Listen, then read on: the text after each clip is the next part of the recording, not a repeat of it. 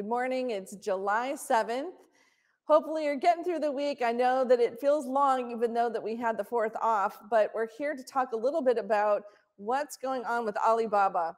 You can hear from our longbow notes if you read those. Um, obviously, there's looks like there's going to be a finale to this where they'll have some sort of penalty. They're saying, or at least the whisper number is about a billion point one uh, against Ant and financial, then that would actually allow for the company to break into the pieces, do IPOs, unlock hopefully shareholder value if you are an investor or you're watching that.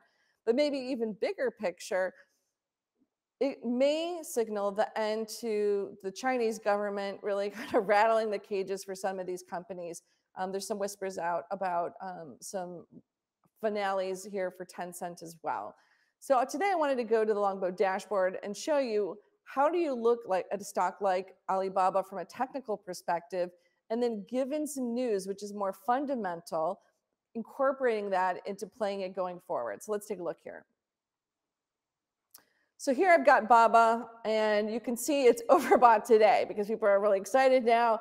Uh, hopefully, hoping here that there's going to be some sort of resolution, things can move forward, unlocking shareholder value.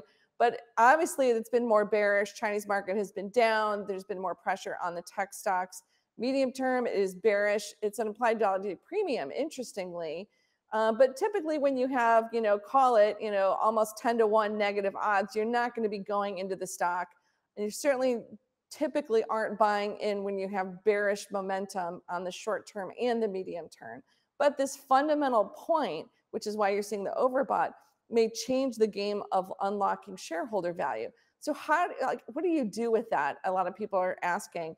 So what you can see here, similar to the um, many Chinese positions, um, there's been a movement downward. That's why we're showing bearish short-term, bearish term momentum. But you get this fundamental play. So you get on a really short term, boop, you get a little pop up, you're above the high end of the range. And so you may not need to wait until the signal here is neutral slash um, bullish or medium term getting there. Because if you're doing the math on fundamental points and think you're at the point where you can unlock some shareholder value, you might be able to make that assumption that things are going to move. Obviously, if you think this is very undervalued. If you don't, then you're going to want to stay away. Maybe you want to short it um, you would have a really different view on how to trade the position in the short term. But also remember that some of the flows here come from institutions. And so there were a lot of people hoping for number one, that the reopening for the Chinese economy would be a lot bigger and sustaining than it has been.